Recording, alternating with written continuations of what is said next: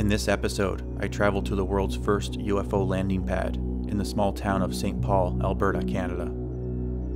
It was built as part of the Canadian Centennial celebration in 1967 to help attract both tourists and extraterrestrials.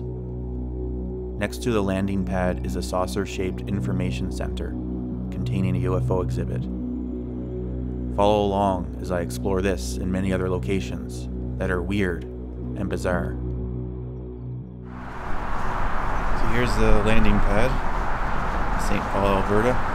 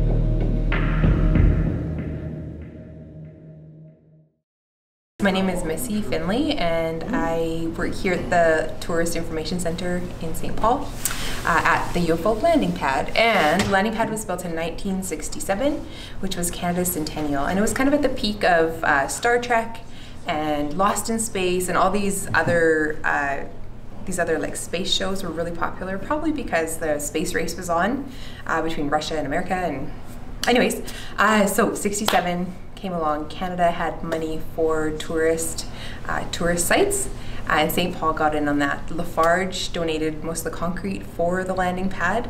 There's four gentlemen who got together one night, and apparently they may have been imbibing some liquid substance, and they came up with the idea to have a landing pad here in St. Paul. So, uh, yeah, they got together, built it in 1993. Oh, there were, sorry, go back to St. the landing pad a little bit. Uh, there were crop circles happening around the area. Okay.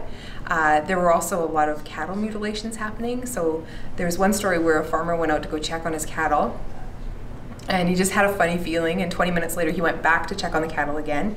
And in that short amount of time, uh, one of his cows had been like the tongue had been completely removed. Oh, really? There was no blood on the scene, and there was really high levels of radiation when they tested. Hmm. Uh, no blood, no like any.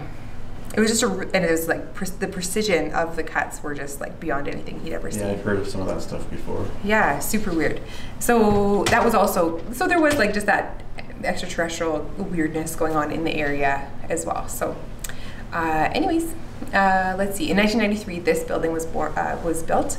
So it's a UFO uh, inside Yeah. the disc. Uh, it's used as a tourist information center, um, and we just changed it into a handmade local market in May. And it's been awesome to really reconnect with the community, further for the town of St. Paul. They built the UFO as like a, or the landing pad, sorry. The premise was like, if we can't get along with one another here on Earth, how are we going to get along with extraterrestrials of any kind? Right. Uh, in that in that vein, and so. Um, as such, that was kind of the spirit moving forward, bringing local artists and local craftspeople together from uh, Saddle Lake and from the areas that Right. the many First Nations around here, as well as the uh, European descent folks from St. Paul itself. So, yeah, that's kind of it for me, I think.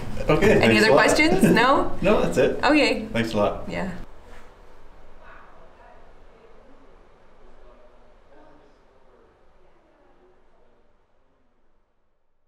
Thanks everyone for watching. If you have any suggestions of content you would like to see or any comments, you can leave them below.